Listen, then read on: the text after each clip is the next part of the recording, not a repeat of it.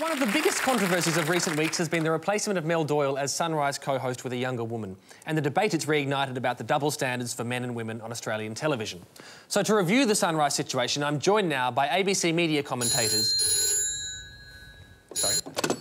Hello? What do you mean they can't make it? How does the ABC even have a box at the State of Origin? It's on Nine. God's sake. You will hang up. Uh, ladies and gentlemen, for the second week in a row, two scheduled guests have let me down. Once again, though, uh, I've made backup plans because, unlike some, I'm a professional. so, uh, to review the Melissa Doyle Sunrise situation, please welcome back two good friends of the show, David Stratton and Margaret Pomeranz.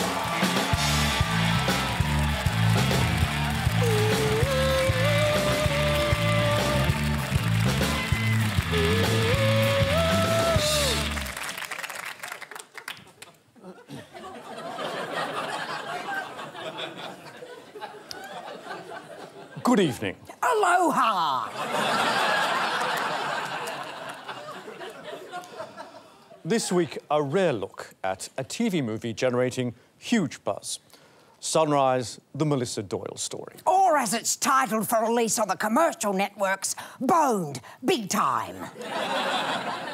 This comedy Tragedy. is from the same team of men responsible for such seminal Australian classics as 10 News, the Helen Kapalos story, She's Too Good Looking, the Jessica Rowe story, Sack Her, She's Pregnant, the Tracey Spicer story, and a series of TV films over a 20 year period, always starring Kerri-Anne Kennerley. For me, Sunrise, the Mel Doyle story, is a masterpiece. Uh, a timely reminder that women over a certain age have no place on Australian television. Unlike men who grow only in gravitas and wisdom and should remain in the job until they cark it on the air. Margaret. Oh, David, I'm, I'm sorry, but I disagree with you so strongly. I'm, I'm speechless. Somehow I doubt that. The, the only thing that worked for me in Sunrise was the, the character of David Koch, or Kochie, as he constantly kept calling himself. He's just such a wonderfully awful creation. calling his viewers dawn patrollers and the inane dad jokes, insulting every breastfeeding mother in Australia.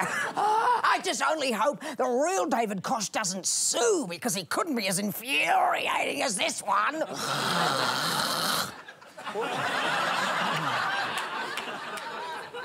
All right, Margaret. Well, I, I found the character of David really spoke to me. A funny, popular, devilishly handsome male presenter stuck in a bickering relationship with a female co-host who's clearly crazy in the coconuts. Oh, David, please!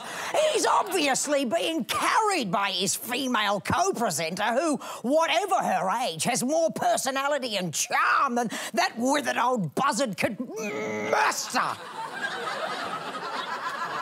Well, I'm giving Sunrise four stars.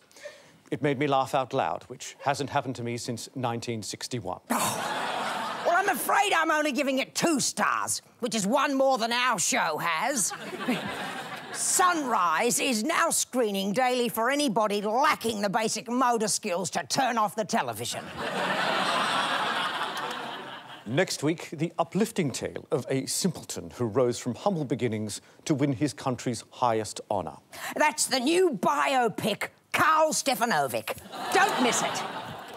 David Stratton and Margaret Pomeranz, ladies and gentlemen.